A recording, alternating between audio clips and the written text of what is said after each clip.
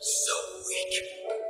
Is there no one out there who can make me take this seriously? Free De La Hoya. Here's a prediction. Fafnir is gonna be crushed by Uranus.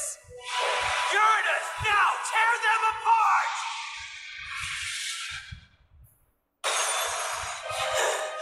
I just defeated a bleeding legend!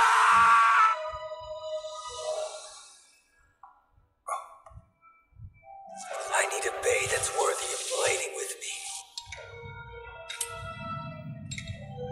This is it! The most powerful bay ever! Vex Lucius! And then, Wave evolved Uranus into Lucius.